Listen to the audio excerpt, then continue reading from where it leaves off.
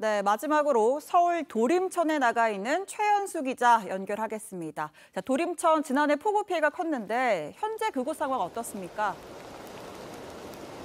네, 도림천은 지난해 폭우로 범람해 가장 피해가 컸던 곳입니다. 지금 제 뒤를 보시면요. 안전제일이란 펜스와 그리고 위험이라고 써져 있는 테이프들을 둘러 시민들의 통행을 막고 있습니다. 고개를 둘러 하천을 보시면 지금 3층로 바로 밑까지 하천 수위가 올라온 걸 볼 수 있습니다. 제가 오후 2시부터 이곳을 취재하고 있는데 비바람은 시간이 지날수록 거세지고 있습니다. 바람이 불어서 우산이 날아가는 모습도 볼 수 있었는데요. 지금까지 관악구의 하루 누적 강수량은 54.5mm 에 달합니다. 도림천은 계속해서 물이 불어나고 있는 중입니다.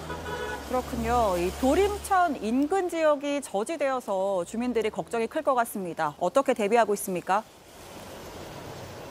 네, 제가 점심 이후에 관악구와 영등포 일대를 돌아봤는데요.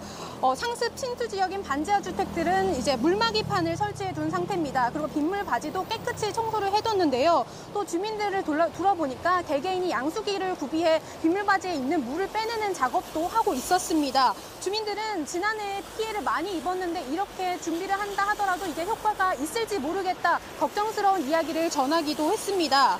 오늘 밤 침수 위험이 있는 주택들은 물막인 판과 빗물 바지들을 청소해야겠습니다. 지금까지 도림천에서 JTBC 최현수입니다.